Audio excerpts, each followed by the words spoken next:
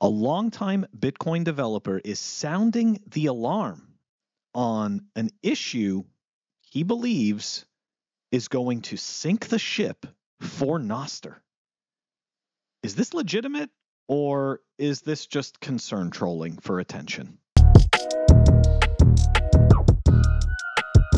Welcome back, everyone. Let's dive right into this. There was a tweet that was shared yesterday by Peter Todd, and it goes a little something like this I applied for a 20K grant to do a proper analysis of Nostr's decentralization on Saturday.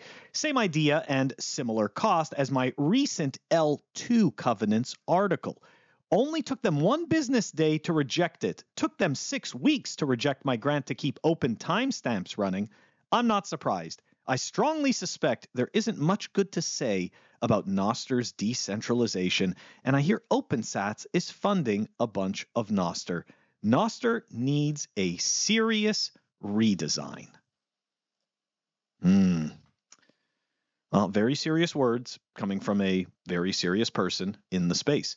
Um, now, for the people who don't know who Peter Todd is, right? Peter Todd is a longtime Bitcoin developer, and as he as he mentioned right in that tweet, um, he is the developer and the creator of Open Timestamps, which uh, some people may remember. I had a gentleman on the show named Carlinho, um, who was essentially using this Open Timestamp protocol in order to reduce fraud in elections in Guatemala. So clearly, Peter Todd has made some good contributions, some people would even argue great contributions, to the Bitcoin ecosystem. As many people who watch this channel know, I'm not such a huge fan of Nostr, but I'm also not a uh, an enemy right of of Nostr. I don't sit there and think that it shouldn't exist or people shouldn't fund it or all of this stuff. No, of course not. We should be trying as many things as we can right? We should be essentially learning what works, what doesn't, improving on the things that do work and making them more resilient, or in some cases, figuring out um, if something doesn't work, right? What could make it better? Now, in terms of Nostr, okay, the, the specific argument here has to do with Nostr's decentralization, right? Anything that starts small usually doesn't have a very big footprint, right? That's the whole point of starting small. So let's take Bitcoin, for example. In the beginning of Bitcoin, there were very few people involved. So the same argument could have been made for Bitcoin at the beginning, okay? That decentralization is a huge problem. Now we fast forward 15 years later, and we're still trucking along.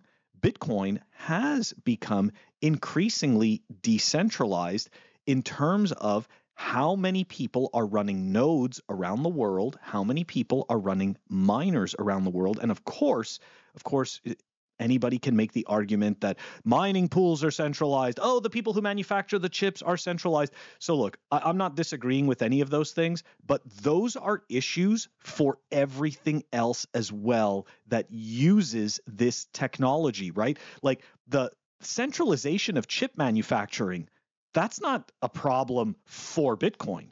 That is a problem for everything, all technology that uses chips. Okay, that it, really is. I, I know that people may not want to believe it, but unfortunately, there are very few chip manufacturing plants and chip manufacturing companies.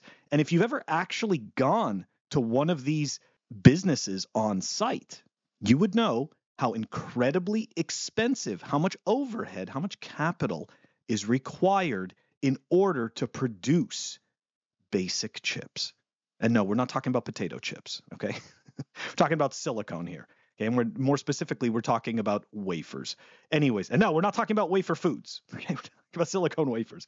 Anyways, anyways, going back to the the, the whole Nostr thing. Um, the reason, another reason why I have a, an issue with with what he's saying is he he's asking he's asking to get paid to do the study on Nostr. And, and, and look, I, I don't look, I, I don't have an issue with people wanting to get paid for their work. Everybody right? Everybody has to eat. Everybody has to, you know, you all need a, we all need shelter, right? Clothing. So it's no surprise that every single person has to get paid, right? You got to get paid for work. Um, the the issue that I have is this though. Um, if he believes that the decentralization is really a massive concern, right? Something that I would say maybe even can't be argued. Why not just do the research and present your work? And at that point, the discussion will start. But in this case, I, I know this sounds terrible. It just looks like a blatant rent seek. Okay. Like essentially, it's just, hey, look, you know, I got paid to do this. I got paid to do this other thing. So pay me to do this. Now, the other thing is this who the hell needs $20,000 to run a test on, on Nostr? Like, what kind of testing is this person doing for $20,000?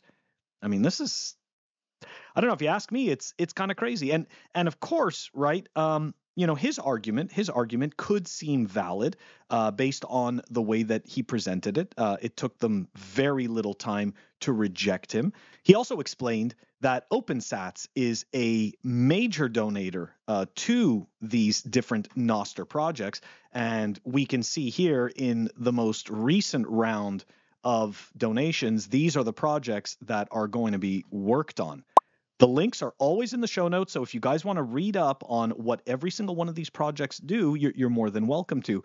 But it's clear, it's clear, right? There, there is a market for people wanting to develop and try things on Nostr. Nostr is around two years old. So the idea that it is immediately um, in some kind of peril due to uh, its lack, supposed lack of decentralization, I do think that this is, I think this is a fudding point.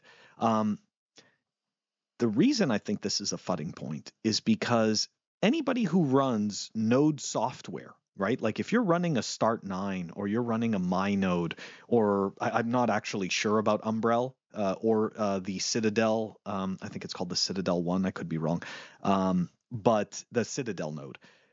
I, I don't know about that one either, but I do know for MyNode and Start9, you can simply install the relay software from their marketplace. And once you have a node with a relay running, well, now you're actually adding to Nostr's decentralization. Another seemingly big turnoff uh, from Nostr is that it's simply just a Twitter clone. Um, I don't, I don't buy that. Although I will say this: when you first start an application and or or even a piece of hardware, okay, you you create something called an MVP, right, which is the minimum viable product.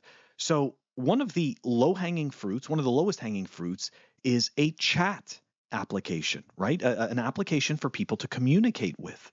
And so I, I believe that Nostr did do the right thing in going in that direction first. Um, but it, it kind of reminds me, interestingly enough, it kind of reminds me of the the Seinfeld episode with the wizard tip calculator, and it, it's exactly that. Jerry's father only recognizes this one thing that this device does, and as Jerry points out, it does other things. How could you spend $200 on a tip calculator? It does other things! And this is exactly the same thing with Nostr. Right now, we see we see the hardening of a communication platform. But there's a whole bunch other applications that are currently being worked on to figure out if they can be useful in a Nostr world. Going back to the original tweet from from Peter Todd, I unfortunately I, I do think that it is a little bit um, disingenuous I I do think that um, unfortunately this was an attention grab.